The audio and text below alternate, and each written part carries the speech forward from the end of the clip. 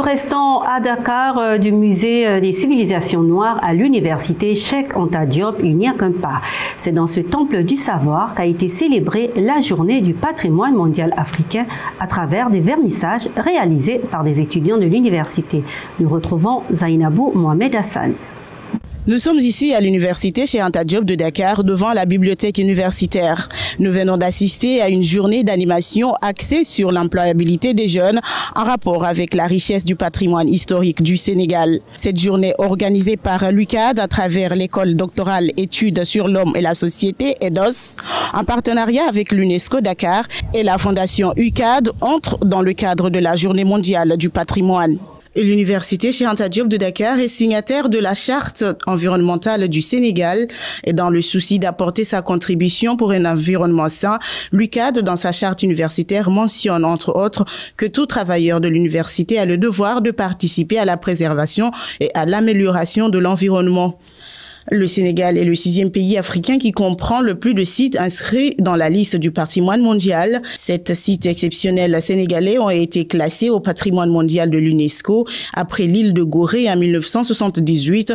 D'autres sites ont été promus parmi lesquels le parc de Nyokolokoba, le parc national de Djoudj, l'île de Saint-Louis, les cercles mégalithiques du Sénégal, le delta du Saloum et le pays Bassari. Cette année, a une valeur particulière pour le continent africain parce que l'Union africaine a déclaré l'année 2021 l'année des arts, de la culture et du patrimoine, un levier pour construire l'Afrique que nous voulons.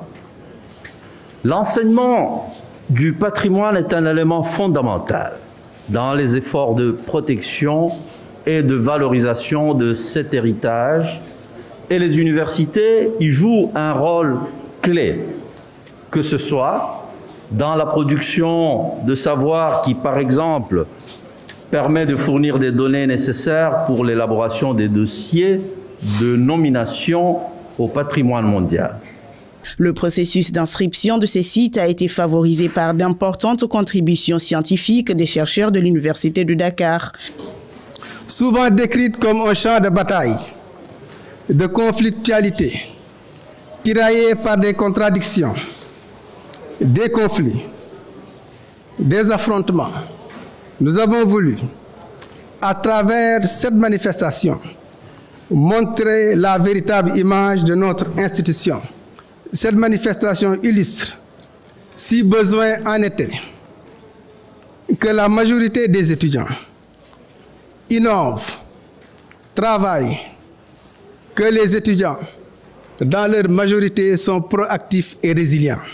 Le thème de cette année, contribution de l'UCAD dans le processus d'inscription et de gestion de sept sites du Sénégal sur la liste du patrimoine mondial de l'UNESCO. La cérémonie a été magnifiée par une chorale des artistes de Dry Coach.